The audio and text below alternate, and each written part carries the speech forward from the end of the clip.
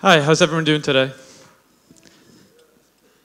I apologize, I'm a little sick, so I hit a bottle of water behind that chair. Hope no, no one notices it.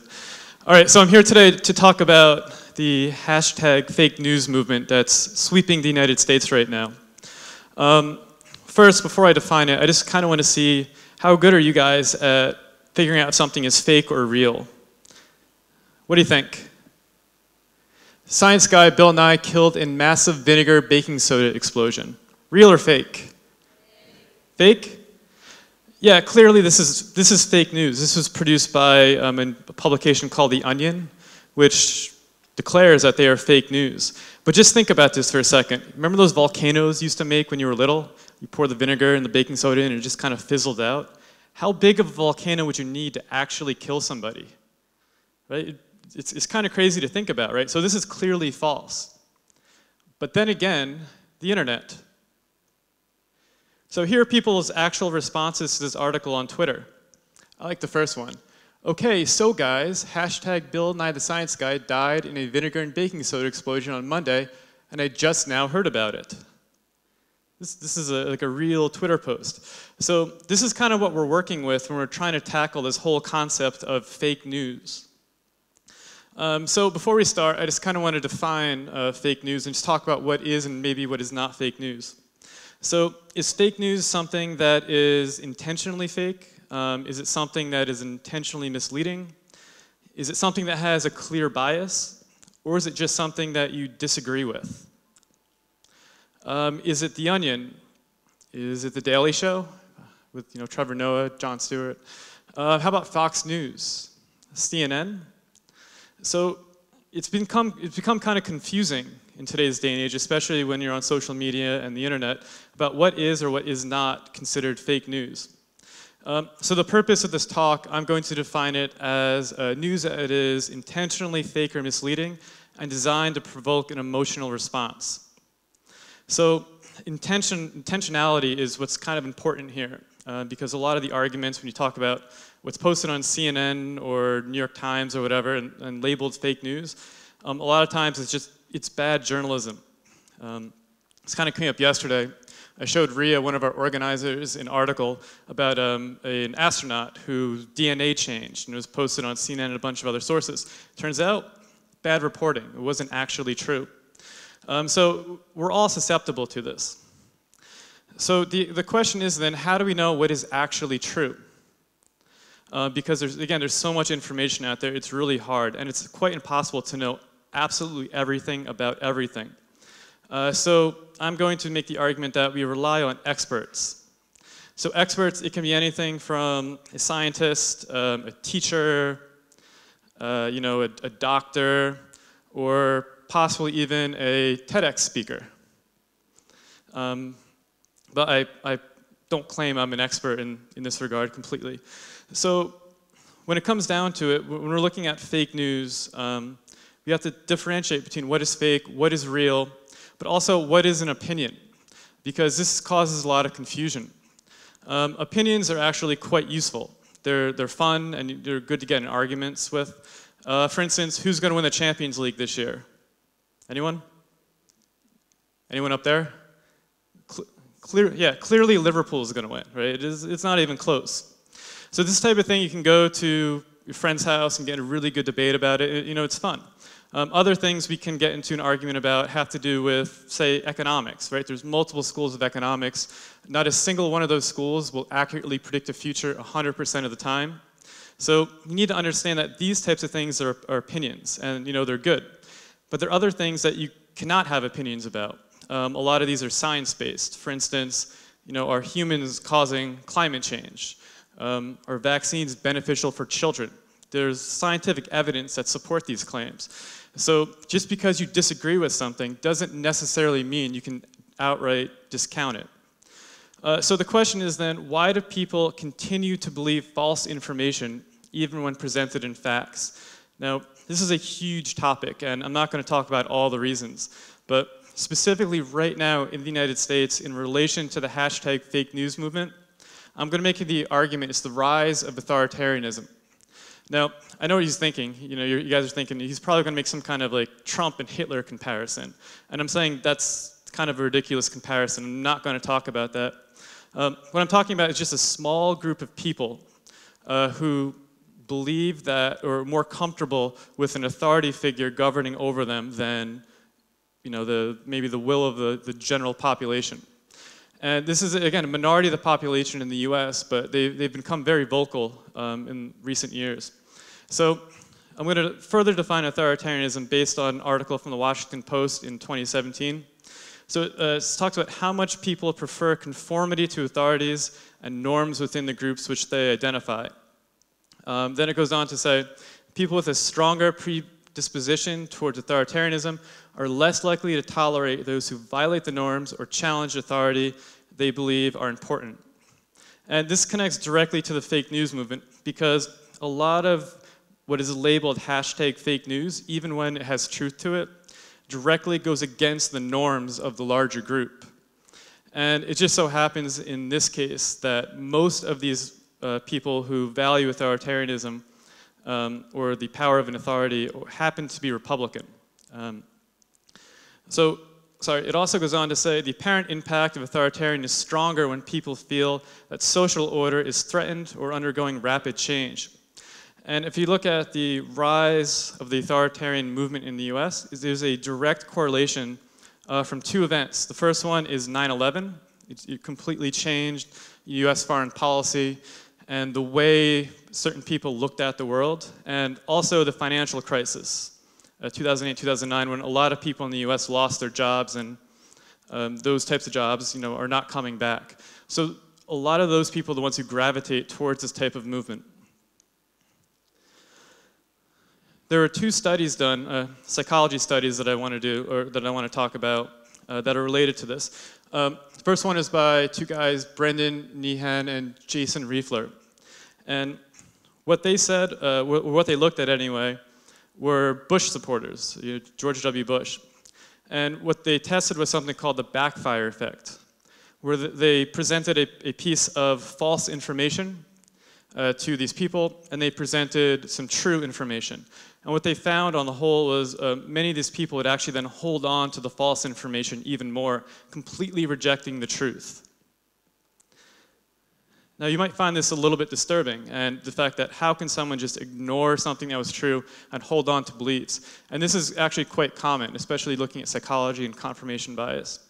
Um, the second study I want to talk about, if you recognize the names, again, we have Nyhan and Reifler with, uh, I guess, their friends Porter and Wood, where they tried to um, falsify or confirm the, the backfire effect with Trump supporters in, in, the 2016 election.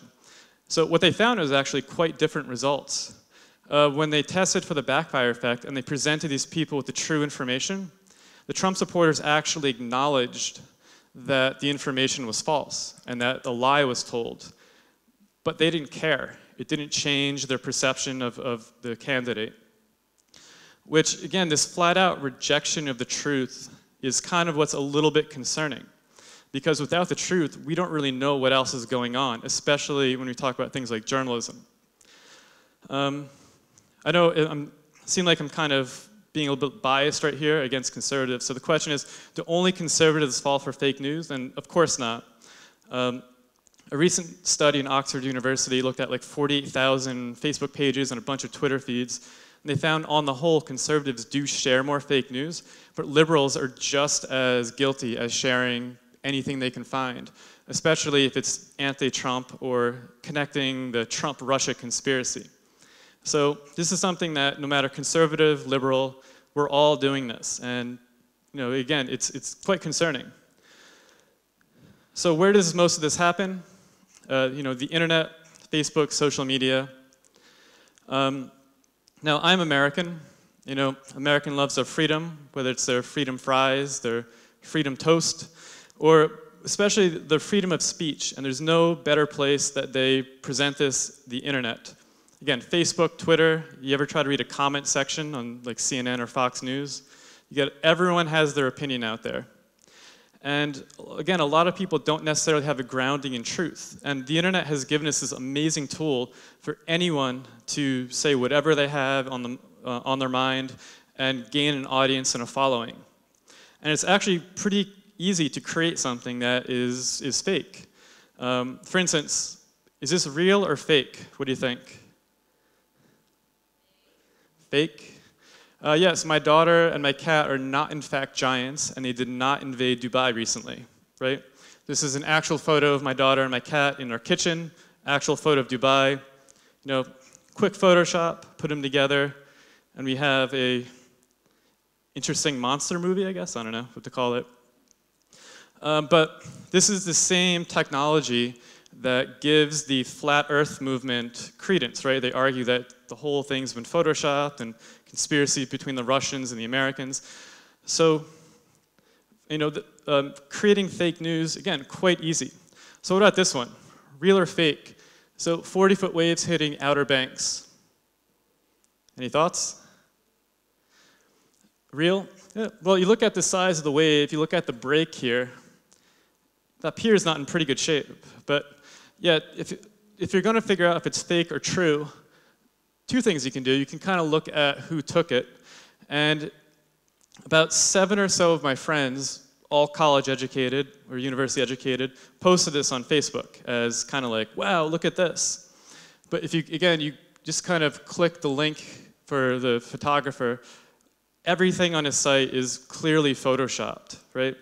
Or you can do the other method of just Googling photo of 40 foot wave in North Carolina.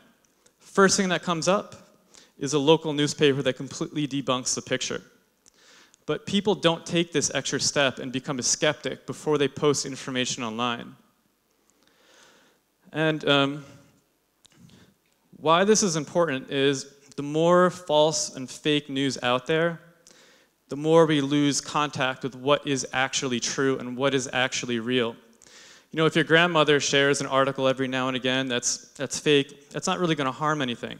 But if it becomes a social norm just to post whatever without any qualifier that, hey, this might not be true or anyone see anything about this, it's going to completely take away from all concept of reality. Um, where this starts to get, again, concerning is when you look at, as a history teacher, uh, the way different authoritarian leaders have come to power. And what they've all done is that they've completely created their own sense of truth. Uh, famously, Mussolini did this, and he was so good at creating his own reality that he started to believe it, so much so that he didn't even see his own downfall. Someone who's done this a little bit better is um, a guy by the name of Vladimir Putin. Heard of him? So, I don't know how many of you know this or not, but Russia actually had a free press in the 1990s, you know, more or less. And this press um, helped Yeltsin get elected with, um, and defeat the communists along with the Russian oligarchs. And when Yeltsin's term was up in 1999, they, um, the press and the oligarchs got together to kind of preserve their lifestyle. And they tried to elect this unheard of former FSB, or like the modern KGB agent, again, Vladimir Putin. No one had heard of him, um, but the press pushed all these pro-Putin stories, they pushed all these anti-opponent stories, and Putin ended up winning pretty easily. Now, Putin, unlike Yeltsin, didn't really tolerate any opposition from the press.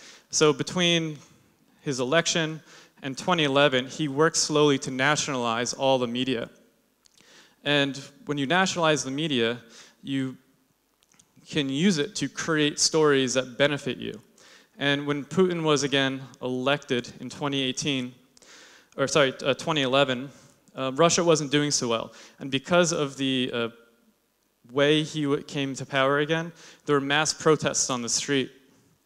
And um, he used his power of the media to create kind of this false, um, almost like war of words, trade war with the United States and while it was able to stop the, the protests, it didn't really do much for his own personal support.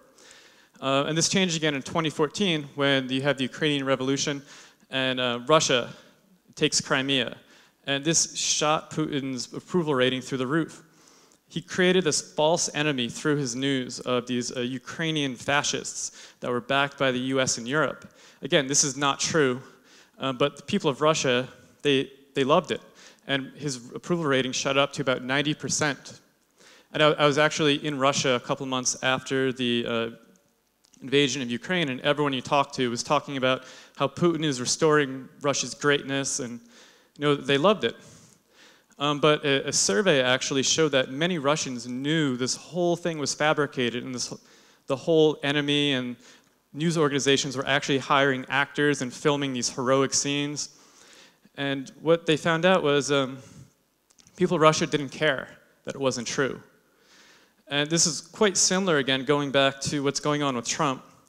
Um, PolitiFact found that, or it's like a fact check website, found that 70% of Trump, uh, his uh, speeches and his claims during his primary and elections were false. It's 70%. Uh, and only 15% were either true or mostly true. In comparison, Hillary was like maybe around 50% true mostly true. I mean, she's not great either, but, but the fact that 70% were false and people didn't care, and that's, again, why this is so concerning, is people's disconnect from the truth. Um, so when it comes down to it, is a fake news actually, or sorry, is a mainstream media actually fake news? And of course the answer is no. Um, when, kind of like the article I was talking about before about the DNA, a lot of bad reporting happens, you know, people do retractions, and we have to remember that. Just because we agree with something, again, doesn't mean it's fake news. The media actually has done a lot since this whole fake news thing to kind of correct itself and improve its standards.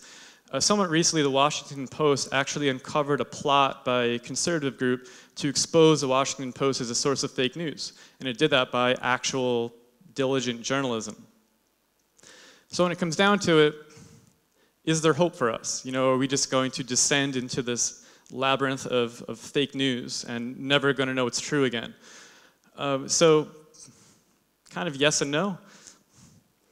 So there's a, a new type of a psychology uh, field called genopolitics, and what it says is liberal conservatives, um, they, you're actually genetically predisposed on, on the whole to be liberal or conservative. Now, if this is true, we're not going to change anyone's mind, right? We're not going to convince someone of something that is true or false. But what we can do is eliminate fake news by being skeptical. So the first thing you guys need to do is go home before you post something, check it out. You know, give it a quick Google search or you know, run it by a couple of friends before you actually share it. Um, next thing you can do is just read information from the uh, other side of the political landscape, things that you don't necessarily agree with. So you kind of get a better understanding of what everyone's thinking. And finally, in schools, we need to do a better job of teaching and learning digital and media literacy. What this means is um, how do you detect bias? How do you know what is true, not true? Um, what's an opinion versus what is fact? And you learn this through your social science courses, your, your history, sociology, psychology. So we need to emphasize those when it comes to education. So together, if we stop posting fake news and we learn more about digital media literacy, we can defeat fake news and win the war on truth. Thank you, and good luck.